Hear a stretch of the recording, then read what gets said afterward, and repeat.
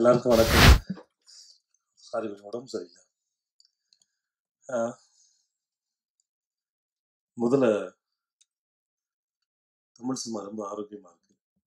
பரியரும் பெருமாள் ரொம்ப சிறப்பாக இருக்கு. அது நீங்க கொண்டாடினீங்க. அது உங்கள் எல்லாருக்கும் முதல்ல நன்றி.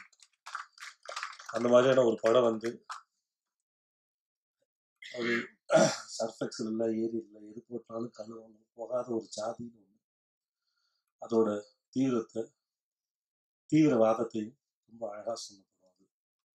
அதை நீங்கள் ரொம்ப அழகாக கொண்டாடுனீங்க அது மக்கள்கிட்ட போய் சேர்ந்தது அதுக்கும் சரி இதோ நேற்று ரிலீஸ் ஆன ராட்சசன் நல்லா இருக்குன்னு சொன்னாங்க. சூப்பராக ஸோ அவங்களுக்கு என்னோட வாழ்த்துக்கள். அப்புறம் எங்கள் படம்? நைன்டி சிக்ஸ் அது எங்கள் படம்னு இல்லை. இது இந்த பிரேம்குமார் அப்படின்ற ஒரு ஆள் எடுத்த அந்த ஆளுக்கு மட்டுமே சொந்தமான படம். ஆனால் பார்க்குற அத்தனை பேருக்கும் சொந்தமான படம் இது நைன்டி சிக்ஸ் ஸோ இதை அது எப்படி வருதுன்னா முழு சட்டம் மாறன் வந்து ரொம்ப நல்லா சொல்லிட்டார் படத்தை அப்படின்ற மாதிரிலாம் இருக்குது. என்ன சொல்றதுன்னு தெரியல. ஒரு மாதிரி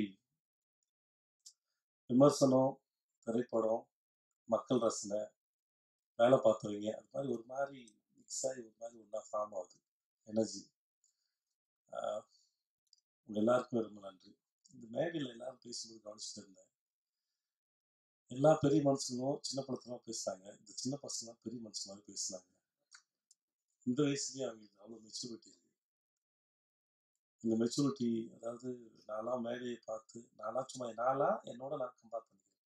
எப்போ இந்த உலகத்தை நம்மளோட கம்பேர் பண்ணி தான் நமக்கு பழக்க இல்லையா? அந்த மாதிரி நான் என்னோட தான் இந்த உலகத்தையும் சக மனுஷனையும் இன்னொருத்தன் போடுற உடையும் காரையும் இல்லை ரோட்டையும் மற்ற நாட்டையும் பார்த்து கம்பேர் பண்ணி வாழ்ந்தா நமக்கு பழக்கம். ஸோ அந்த மாதிரி என்னோட கம்பேர் பண்ணி என்னோட கம்பேர் பண்ணி பார்க்குற பட்சத்தில் இந்த குழந்தைங்களாம் ரொம்ப மெச்சூர்டாக அழகாக நல்லா முதல்ல மேடையில் பேசும்போது வேர்த்து விறுவிறுத்து மயக்கம் போட்டு விடாத குறையாத மேடையில் பேசியிருக்கேன் நான்.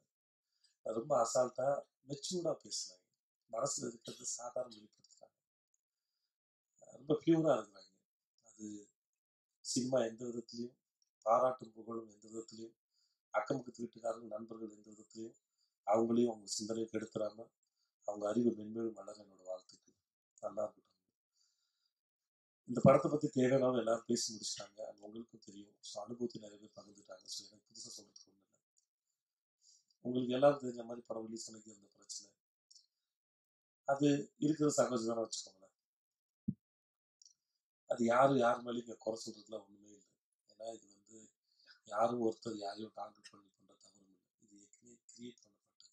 இது இருக்குது இது எல்லாமே ஒரு வட்டத்துக்குள்ள இருக்குது வட்டத்தில் எது தொடக்கம் எது முடிவுன்னு சொல்ல முடியாதோ அதே மாதிரி தான் இந்த மாதிரி பிரச்சனைகளுக்கு எது தொடக்கம் எது முடிவு யார் மேலே பழி போடணும் அப்படின்ற எந்த இதுவுமே கிடையாது. யாரும் இதுக்கு பொறுப்பும் அல்ல. பட் இதை காப்பாற்றுறதுக்கு முயற்சி பண்ண லலித் முக்கியமான ஆள். அன்னைக்கு இரவு நந்தகோபால் பட்ட கஷ்டம். அது நான் நேர்ல பட் வேறு வழி இல்லை. சில சமயம் லைஃப் நமக்கு இதெல்லாம் அவனுக்கு கொடுக்கும். என் லைஃப்ல இந்த மாதிரியான பிரச்சனைகள் வரும்போது நான் ரொம்ப ஸ்ட்ராங்காக நம்புவேன். நான் அடுத்த கட்டத்துக்கு போக போகிறேன் ஏன்னா யார் மேலே எவ்வளோ பாரம் வைக்கிறானோ எவ்வளோ எவ்வளோ தாங்குறானோ அவங்களுக்கு தான் இருக்கு. அவன் அந்த பாரத்தை தாங்கி கடந்து போக முடியும்னா அவனுக்கு இன்னும் ஒரு- இன்னொரு கட்டத்துக்கு போக முடியும் லைஃப்ல அப்படின்னு நான் நினைக்கிறேன். ஸோ என் லைஃப்ல ஒவ்வொரு முறையும் இந்த மாதிரி விஷயம் தான் கடந்து வந்திருக்கேன். அது முக்கியமான விஷயம். இது என்னமோ எனக்கும் எங்கள் டீமுக்கும் முத முறையாக நடந்ததில்லை. சினிமாவில் இது காலங்காலமாக நடந்துகிட்டே இருக்கிறது தான் அது. இது எல்லா தொழிலுக்கும் வேற வேற பிரச்சனையாக இருக்கும். ஸோ அதனால அது பெரிய விஷயம் இல்லை. பட் இதில் முக்கியமாக சொல்ல விரும்புறது லலித் அவர்களுக்கு. இந்த படத்தை தமிழ்நாடு தேட்டரில் வாங்கி ரிலீஸ் பண்ண லலித் அவர்கள் இன்னைக்கு இந்த படம் ரிலீஸ் ஆயிருக்கு. நந்தகோபால் அவர்கள் எப்படி இந்த கதையை மீனா நீ இல்லைனா நான் அவ்வளோதானா அப்படின்ற மாதிரிலாம் யோசிச்சு படத்தை செலக்ட் பண்ணாரோ? ஒரு காதலிச்சு ஒரு படம் பண்ணாரோ? அது அதை அந்த படத்தை பார்த்துட்டு அதே அளவு காதலோட இது செம படம் இது மக்களுக்கு போய் சேரணும். கடைசி நிமிஷத்துல அவர் வாங்கினது இல்லை அவர் காசுக்கு மேலே போடுறதுனால அவர் தன்னை மீறி அதுக்கு முன்னாடி வந்து அதை எடுத்து கொண்டு வந்தார். ஸோ அவருக்கும் இவ்வளோத்தையும் தாண்டிட்டு இந்த படத்தை ரசிச்சு இன்னைக்கு வந்து மேடையில் உட்காந்து ரசிச்சு பேசுனதுக்கு இருக்கும். மற்ற உட்கார்ந்து நண்பர்கள் அத்தனை பேருக்கும் சரி. மிகப்பெரிய நன்றி. அண்ட் உங்களுக்கு மிகப்பெரிய நன்றி. நல்ல படங்களை ரொம்ப தேர்ந்தெடுத்து தேர்ந்தெடுத்து பார்த்து பார்த்து சொல்லிட்டு இருக்கீங்க.